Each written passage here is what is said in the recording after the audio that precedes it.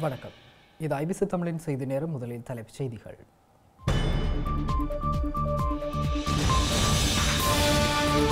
யாழ் பொது நூலக அழிப்பிற்கு நீதி கட்டினால் தமிழின படுகொலைகள் நிறுத்தப்பட்டிருக்கும். நாற்பத்தி மூன்றாவது ஆண்டு நினைவு நாளில் ஆர்வலர்கள் கருத்து. ஜனாதிபதி தேர்தலை தமிழ் மக்கள் புறக்கணிக்க வேண்டும். தமிழ் தேசிய மக்கள் முன்னணி அழைப்பு. வேதன அதிகரிப்பு போராட்டங்களால் பயனில்லை. இந்த ஆண்டு அதிகரிப்பு இடம்பெறாது என்கிறார் அமைச்சர் பந்துல. இந்திய நாடாளுமன்ற தேர்தலின் ஏழாம் கட்ட வாக்குப்பதிவு நிறைவு. வாக்கு எண்ணிக்கை ஜூன் நான்கு. கமாஸ் தோற்கடிக்கப்படும் வரை போர் நிறுத்தம் ஏற்படாது. இஸ்ரேலிய பிரதமர் கருத்து.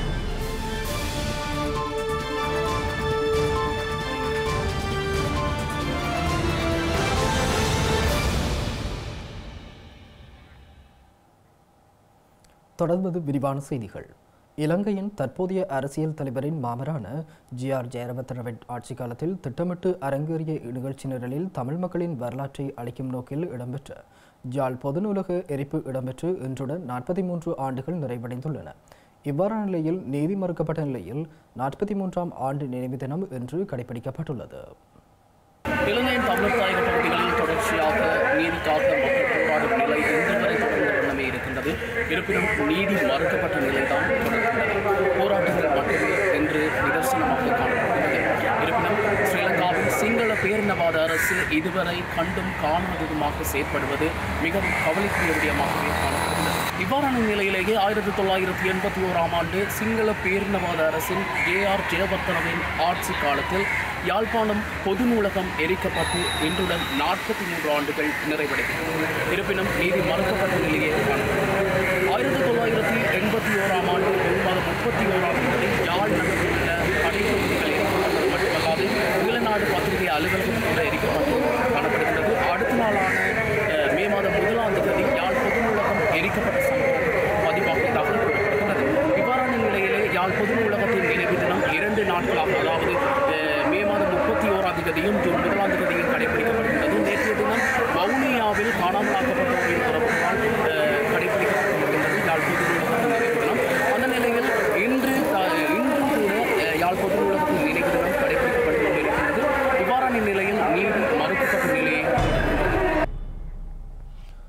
சிங்கள பேரினவாத அரசால் தமிழினத்தை அழிக்கும் முயற்சியில் எடுத்துக்கொள்ளப்பட்ட முதல் படிநிலையே தமிழின வரலாற்றை அழிக்கும் நோக்கில் ஜாழ் பொது நூலகம் எரிக்கப்பட்ட சம்பவம் என முன்னாள் வடக்கு மாகாண சபை உறுப்பினர் சபா குகுதாஸ் குறிப்பிட்டுள்ளார். நூலக அழைப்பிற்கு நீதி கிடைக்கப்பெற்றால் பாரிய தமிழின படுகொலை தடுத்து நிறுத்தி இருக்கலாம் எனவும் சபா குகுதாஸ் குறிப்பிட்டுள்ளார். அதாவது ஈழத்தமிழர்களின் வரலாற்றை அதன் தொன்மைகளை ஆதாரபூர்வமாக நிரூபிக்கக்கூடிய ஒரு தளமாக அந்த நூலகம் இருந்தது. இந்த நூலகத்தை அன்றைய ஐக்கிய தேசிய கட்சி அரசாங்கம் குறிப்பாக இன்று இருக்கின்ற ஜனாதிபதியினுடைய மாமனார் ஜே ஆர் ஜெயவர்த்தனா அவர்களினுடைய தலைமையில் தான் அந்த நூலகம் கொளுத்தப்பட்டது. குறிப்பாக அன்றைய அமைச்சர் காமினி மற்றும் பாராளுமன்ற உறுப்பினர்கள் அனைவரும் மாவட்ட சபை தேர்தலை குழப்பும் முகமாக இங்கு வந்திருந்த நேரம். அதாவது யாழ்ப்பாணத்தில் ஒரு விருந்தினர் விடுதியில் தங்கியிருந்த நேரம் இந்த நூலகத்தை அங்கு தங்களுடைய காடையர்களை வைத்து திட்டமிட்டு கொளுத்தி எறிந்தார்கள். இந்த நூலகத்தினுடைய உருவாக்கத்தின் பின்னணியில் பல அறிஞர்கள் பல பேராசிரியர்கள் இருந்தார்கள். அதில் முக்கியமாக தாவீது அடிகள் தன்னுடைய எழுபத்தி நாலாவது வயதில் அந்த எரிகின்ற அந்த நூலகத்தை பார்த்து அந்த இடத்திலேயே மரணித்திருந்தார். அப்படி பலருடைய மனங்களில் இன்றும் எரிந்து கொண்டிருக்கிற ஒரு விடயமாகத்தான் இந்த நூலக எரிப்பு விவகாரம் இருக்கிறது. இது ஒரு திட்டமிட்ட தமிழின படுகொலை. தமிழினத்தை அழிப்பதற்கு அதாவது கொண்டு உயிர்களை அளிப்பதற்கு முன்பாக திட்டமிட்டு அதனுடைய வரலாற்று ஆதாரங்களை சிங்கள பேரினவாதம் அளித்திருக்கிறது. உண்மையிலேயே அன்று இந்த நூலகம் கொளுத்தப்பட்டு எரிக்கப்பட்டதற்கு சரியான ஒரு நீதி நியாயம் எடுக்கப்பட்டிருந்தால் அந்த தரப்பை குற்றத்தை செய்த தரப்புக்கு தண்டனை வழங்கப்பட்டிருந்தால் அதன் பின்னர் நடைபெற்ற இவ்வளவு பாரிய தமிழின படுகொலைகள் தடுத்து நிறுத்தப்பட்டிருக்கும். ஸ்ரீலங்கா ஜனாதிபதி தேர்தலில் போட்டியிடவுள்ள வேட்பாளர்கள் தமிழ் மக்களுக்கான பிரச்சினைகளை தீர்ப்பதற்கான உத்தரவாதம் எதையும் இதுவரை வழங்காத நிலையில் தேர்தலை புறக்கணிக்க வேண்டும் என தமிழ் தேசிய மக்கள் முன்னணி குறிப்பிட்டுள்ளது. தமிழர் தாயக மக்களுடன் இணைந்து முஸ்லிம் மக்களும் மலேக மக்களும் ஆதரவு வழங்க வேண்டும் என தமிழ் தேசிய மக்கள் முன்னணி வேண்டுகோள் விடுத்துள்ளது. எதிர்வருகின்ற ஜனாதிபதி தேர்தலில் எந்த ஒரு சிங்கள பௌத்த ஜனாதிபதி வேட்பாளர்களும் தமிழ் மக்களினுடைய அபிலாஷைகளை தீர்ப்பதாக எந்த விதமான உத்தரவாதங்களையும் தந்திருக்காத காரணத்தினால் தமிழ் மக்களாகிய நாங்கள் தேர்தலை பகிஷ்கரிப்பதாக முடிவெடுத்திருக்கின்றோம். இது தமிழ் தேசிய மக்கள் முன்னணியும் தமிழ் மக்களும் சேர்ந்து எடுத்த முடிவு. நாங்கள் இந்த ஜனாதிபதி தேர்தலை பகிஷ்கரிப்பதன் வாயிலாகத்தான் எதிர்காலத்தில் என்றாலும் தமிழ் மக்களினுடைய அபிலாஷைகளை தீர்ப்பதற்கு நடவடிக்கை எடுத்தால் மாத்திரம்தான் தமிழ் மக்களினுடைய வாக்குகள் பெறக்கூடிய சூழல் உருவாகும் என்கின்ற மனோநிலை ஜனாதிபதி வேட்பாளர்களுக்கு ஏற்படும். நாங்கள் மாறி மாறி வாக்களித்து ஏமாறுந்து எதையுமே காணவில்லை. இரண்டாயிரத்தி பத்தில் மஹிந்தவை எதிர்த்து தமிழ் மக்களை வாக்களிக்க வைத்தார்கள். இரண்டாயிரத்தி பதினைந்தில் ரணில் மைத்திரிக்கு வாக்களிக்க வைத்தார்கள். இரண்டாயிரத்தி பத்தொன்பதில் சஜித்துக்கு வாக்களிக்க வைத்தார்கள். எதையுமே நாங்கள் காணவில்லை. மாறி மாறி அவர்கள் நாட்டை ஆண்டு வருகிறார்கள். அவர்களுக்குள் தங்களுக்குள் ஒரு உடன்பாட்டை ஏற்படுத்தி தமிழ் மக்களை இன அழிப்பு செய்து மாறி மாறி சிங்கள பௌத்த பேரினவாதம் தமிழ் மக்களை ஏமாற்றி வருகிறது. இனியும் நாங்கள் ஏமாற முடியாது.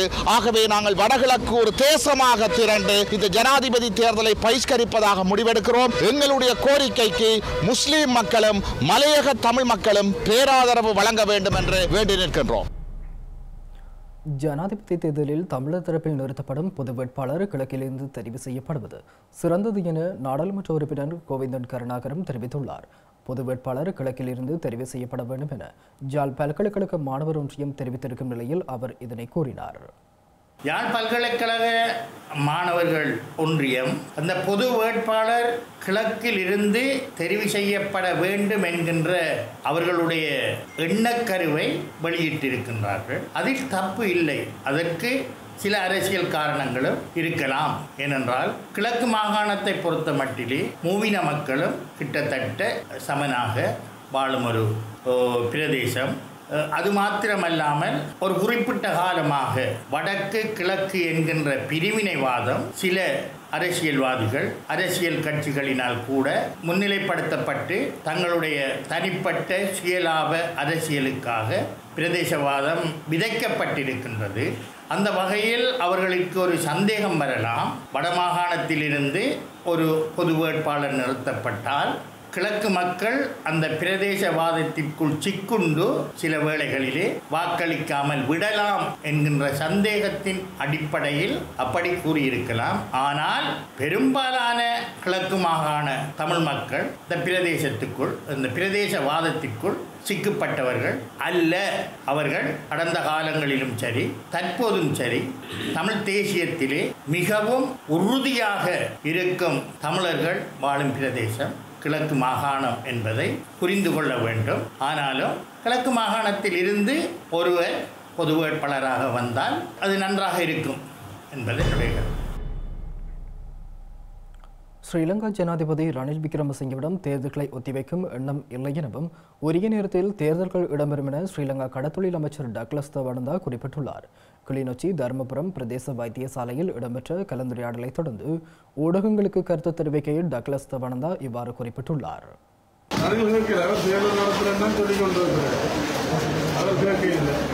நான் நம்புறேன். அவர் இந்த தேர்தல் நடத்துவார் அழுத்தம் கொடுக்கவோ தெரியாது. ஆனால் இதுவரை தேர்தல் நடத்துறேன்ற ஒரு எண்ணத்தில் அவர் இருக்கிறார். மாகாண சபை தேர்தல் உள்ளூராட்சி தேர்தல் ரெண்டும் வந்து அதுக்கு பிறகு. ஜனாதிபதி தேர்தல் முடிஞ்சோடனே நாடாளுமன்ற தேர்தல் நாடாளுமன்ற தேர்தல் முடிஞ்சோன்னா மாகாண சபை தேர்தல் மாகாண சபை தேர்தல் முடிஞ்சோன்னா உள்ளூராட்சி மன்ற தேர்தல் உள்ளூராட்சி மன்ற தேர்தல் முடிஞ்சோன்னா ஜனநாயகம் நாடு ரீதியில் கலர் இலங்கையில் நடைபெற்று முடிந்த இரண்டாயிரத்து இருபத்தி மூன்றாம் ஆண்டுக்கான கல்வி பொதுத்தராதர உயர்தர பரீட்சையில் வடக்கு கிழக்கு மாகாணங்களைச் சேர்ந்த மாணவர்கள் சிறந்த பெறுபர்களை பெற்று சாதனை படைத்தனர். இருப்பினும் நாடு தழுவிய ரீதியில் தமிழர் தாயக பகுதிகளில் உள்ள மாணவர்கள் முதலிடத்தை பெறுவதற்கு தவறியுள்ளனர். இலங்கையில் கடந்த ஜனவரி மாதம் இடம்பெற்ற இரண்டாயிரத்தி இருபத்தி மூன்றாம் ஆண்டிற்கான கல்வி பொதுத்தராதர உயர்தர பரீட்சையில் மூன்று லட்சத்து நாற்பத்தி ஆறாயிரத்து தொள்ளாயிரத்து எழுபத்தி ஆறு பரீட்சார்த்திகள் நாடு முழுவதிலும் இருந்து தோற்றியுள்ளனர். இந்த பரீட்சைக்கு தோற்றியவர்களில் இரண்டு லட்சத்தி இருபத்தொன்பதாயிரத்து ஐம்பத்தி ஏழு பாடசாலை மாணவர்களும் நாற்பதாயிரத்து ஐநூற்று ஐம்பத்தி ஆறு தனியார் விண்ணப்பதாரிகளும் அடங்கியிருந்த நிலையில் நேற்று பரீட்சையின் பெறுபேறுகளை பரீட்சைகள் திணைக்களம் வெளியிட்டுள்ளது. அந்த வகையில் யாழ்ப்பாணம் இந்து கல்லூரியைச் சேர்ந்த ஐம்பத்தி ஆறு மாணவர்கள் மூன்று ஏ சித்திகளை பெற்றுள்ளனர். யாழ்ப்பாணம் இந்து கல்லூரியில் இரண்டு ஏ சித்திகளை முப்பது மாணவர்களும் ஏ டூ பி சித்திகளை இருபத்தி நான்கு மாணவர்களும் பெற்றுள்ளனர். யாழ்ப்பாணம் வேம்படி மகளிர் உயர்தர பாடசாலையில் முப்பது மாணவிகள் மூன்று ஏ சித்திகளை பெற்றுள்ளனர். இரண்டு ஏபி சித்திகளை இருபத்தி ஒன்பது மாணவிகளும் இரண்டு ஏசி சித்திகளை எட்டு மாணவிகளும் இரண்டு ஏ எஸ் சித்தியை ஒரு மாணவியும் ஏ இரண்டு பி சித்திகளை பன்னிரண்டு மாணவிகளும் ஏபிசி சித்திகளை பதினாறு மாணவிகளும் பெற்றுள்ளனர். அத்துடன் யாழ்ப்பாணம் இந்து மகளிர் கல்லூரியில் இருபத்தி நான்கு மாணவிகள் மூன்று ஏ சித்திகளை பெற்றுள்ளனர். போத்த உயர்தர பரீட்சைக்கு தோற்றிய மாணவர்கள் இருநூற்றி எண்பத்தி நான்கு பேர். இவர்களில் அதி விசேட சித்தியை பெற்று அது த்ரீ ஏ சித்தியை பெற்று இருபத்தி நான்கு மாணவர்கள் சித்தி அடைந்திருக்கின்றார்கள் இவற்றிலே வர்த்தக பிரிவிலே யாழ் மாவட்டத்திலே முதலாம் இடத்தினை பெற்றிருக்கின்றார். எமது வர்த்தகத்துறை மாணவி செல்வி கிருத்திகா பத்மலோலன் அவர்கள் மாவட்ட நிலையில் முதலாம் இடத்தினை பெற்று கல்லூரிக்கு பெருமை சேர்த்திருக்கின்றார். அத்துடன் யாழ் இந்து மகளிர் கல்லூரி மாணவி கீர்த்திகா பத்மலோஜன் வணிக பிரிவில் யாழ் மாவட்டத்தில் முதல் நிலையை பெற்றுள்ளார். ரெண்டாயிரத்தி இருபத்தி மூன்று பிரிவில் ஏ லெவலில் நான் வர்த்தக பிரிவில் கல்வி கற்றிருந்தேன். அதில் என்ன சிறந்த சித்தி பெற்றிருக்கேன் அதாவது த்ரீ ஏ பெற்றிருக்கேன். அது மட்டும் இல்லாமல் மா யாழ் மாவட்ட ரீதியில் முதலாம் இடத்தையும் பெற்றிருக்கேன். நான் இதை எக்ஸ்பெக்ட் பண்ணலை ஆனால் கிடைச்சதில் நான் ரொம்ப சந்தோஷப்படுறேன். சாவகச்சேரி இந்து கல்லூரியில் பத்தொன்பது மாணவர்கள் மூன்று ஏ சித்திகளை பெற்றுள்ளனர்.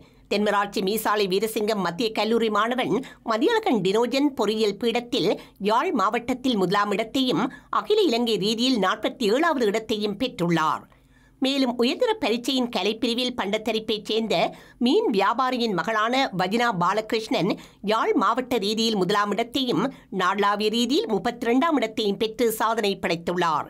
குறித்த மாணவிக்கு பலரும் தமது பாராட்டுக்களை தெரிவித்து வருகின்றனர். போன் வசதி கூட என்னோட ஆரம்பத்தில் இல்லை. நான் ஃபோன் மூலமாக எல்லாம் படிக்கல ஸ்கூல் கிளாஸ் நடக்கும்போது எல்லாமே என்னோட ஃபோன் இல்லாமல் இருக்கும்போது என்னுடைய ஃப்ரெண்ட் ஒரு ஆள்கிட்ட போய் தான் நான் படித்தேன் நான்.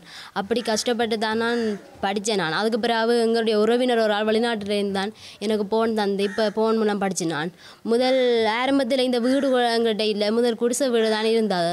அதில் தான் முதல் அங்கேருந்து நாங்கள் வெயில் என்றாலும் சரியான இதாக இருக்கும் மழை என்றாலும் இதாக இருக்கும் அதுக்கு பிறகு தான் இந்த வீடு கட்டினாங்க அதுக்கு பிறகு இந்த வீடு எல்லாம் எங்களுக்கு வந்தது.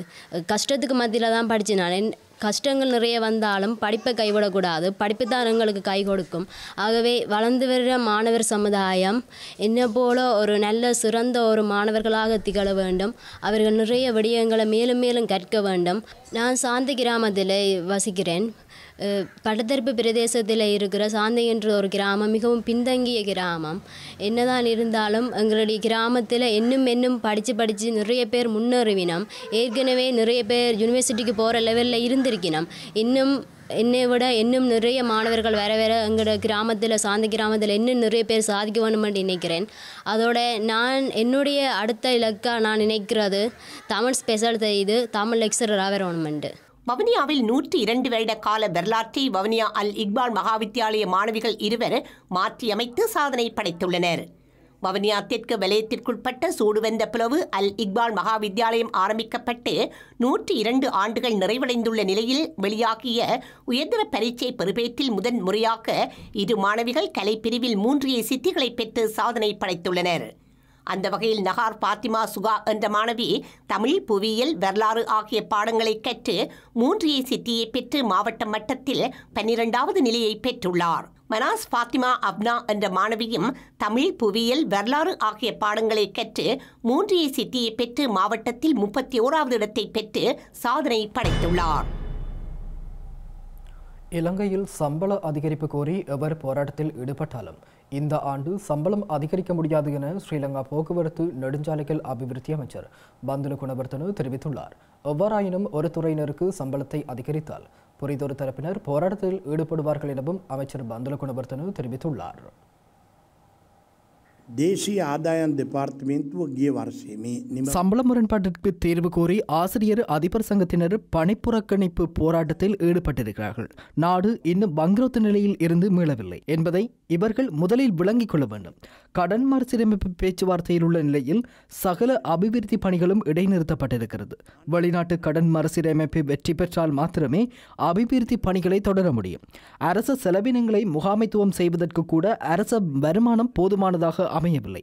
சம்பள அதிகரிப்பு கோரி எவர் போராட்டத்தில் ஈடுபட்டாலும் இந்த ஆண்டு எவருக்கும் சம்பளத்தை அதிகரிக்க முடியாது. இரண்டாயிரத்து இருபத்தி நான்காம் ஆண்டு வரவு செலவு திட்டத்தினூடாக அரச ஊழியர்களுக்கு பத்தாயிரம் ரூபாய் சம்பளம் அதிகரிக்கப்பட்டிருக்கிறது. ஒரு துறையினருக்கு சம்பளத்தை அதிகரித்தால் பிரிதொரு தரப்பினர் போராட்டத்தில் ஈடுபடுவார்கள். தாம் ஆட்சிக்கு வந்தவுடன் சர்வதேச நாணய நிதியத்துடனான பரிந்துரைகளை மறுபரிசீலனை செய்வதாக எதிர்க்கட்சியினர் குறிப்பிடுவது நாட்டு மக்களை ஏமாற்றும் ஒரு செயற்பாடு என்றே குறிப்பிட முடியும். ஏனெனில் எவர் ஆட்சிக்கு வந்தாலும் தற்போதைய மறுசீரமைப்புகளை தொடர வேண்டும்.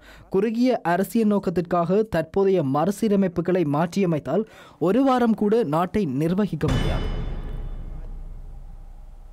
பெருந்தோட்ட தொழிலாளர்களுக்கான அடிப்படை சம்பள பிரச்சினை தொடர்பாக ஸ்ரீலங்கா அரசாங்கம் வெளியிட்ட வர்த்தமானி அறிவித்தலை செல்லுபடியற்றது என அறிவிக்குமாறு கோரி பெருந்தோட்ட நிறுவனங்களால் தாக்கல் செய்யப்பட்ட மனு மீதான விசாரணை எதிர்வரும் மூன்றாம் தேதி வரை ஒத்திவைக்கப்பட்டுள்ளது. இந்த வழக்கு விசாரணை சோபித் ராஜகரண மற்றும் தம்பிக்கு கணபல ஆகியோர் அடங்கிய மேன்முறையீட்டு நீதிமன்ற அமர்வில் விசாரணைக்கு எடுத்துக்கொள்ளப்பட்ட நிலையில் வழக்கு விசாரணை ஒத்திவைக்கப்பட்டுள்ளது. இலங்கை பெருந்தோட்ட தொழிலாளர்களுக்கு ஆயிரத்து எழுநூறு ரூபாய் சம்பள அதிகரிப்பு குறித்து அரசு வர்த்தமானி வெளியிடப்பட்ட நிலையில் அதனை வழங்க பெருந்தோட்ட நிறுவனங்கள் மறுப்பு தெரிவித்து வருகின்றன. இருப்பினும் தோட்டத் தொழிலாளர்களுக்கு ஆயிரத்தி இருநூறு ரூபாய் சம்பளம் வழங்கப்படும் என பெருந்தோட்ட நிறுவனங்கள் தெரிவித்துள்ளன. இந்த நிலையில் ஆயிரத்து எழுநூறு ரூபாய் சம்பள அதிகரிப்பை வேண்டும் என மலையக அரசியல் கட்சிகள் அழுத்தம் கொடுத்து வருகின்றன. தோட்டத் தொழிலாளர்களின் சம்பள உயர்வு குறித்து பேச்சுவார்த்தை நடத்தப்பட்ட போது சம்பள உயர்வு வழங்க முடியாதென தெரிவித்த நிறுவனங்கள் தற்போது கடும் அழுத்தத்திற்கு பின்னர் ஊக்குவிப்பு தொகை மாத்திரம் வழங்க முன்வந்துள்ளதாகவும் மலையக கட்சிகள் குற்றம் சுமத்தி வருகின்றன. இவ்வாறான நிலையில் ஸ்ரீலங்கா அரசாங்கம் வெளியிட்ட வர்த்தமானி அறிவித்தலை செல்லுபடியற்றது என அறிவிக்குமாறு கோரி பெருந்தோட்ட நிறுவனங்களால் தாக்கல் செய்யப்பட்ட மனு மீதான விசாரணை இதுவரும் மூன்றாம் தேதி வரை ஒத்திவைக்கப்பட்டுள்ளது. அக்கரப்பத்தன பெருந்தோட்ட நிறுவனங்கள் உட்பட இருபத்தி ஒரு தோட்ட கம்பெனிகளால் இந்த மனு சமர்ப்பிக்கப்பட்டுள்ளது. அமைச்சர் மனுஷன் நாணயக்கார மற்றும் தொழிலாளர் ஆணையாளர் உள்ளிட்ட ஐம்பத்தி ரெண்டு பேர் இந்த மனுவில் பிரதிவாதிகளாக குறிப்பிடப்பட்டுள்ளனர். செய்திகளின் நிறைவாக மீண்டும் தலைப்புச் செய்திகள்.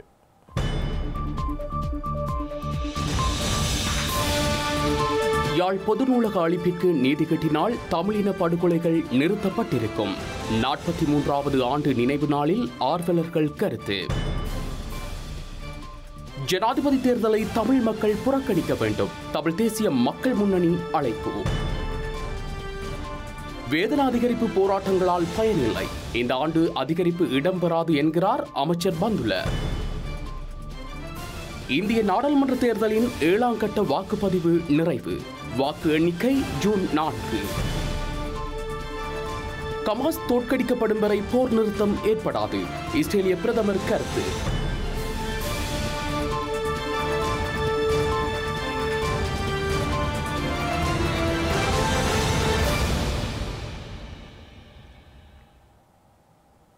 இத்துடன் ஐபிசி தமிழின் செய்தி நேரம் நிறைவடைகின்றது. உடனுக்குடன் செய்திகளை அறிந்து கொள்ள ஐபிசி தமிழ் டாட் காம் என்ற எமது இணையதளத்தை பார்வையிடுங்கள். வணக்கம். Thank you.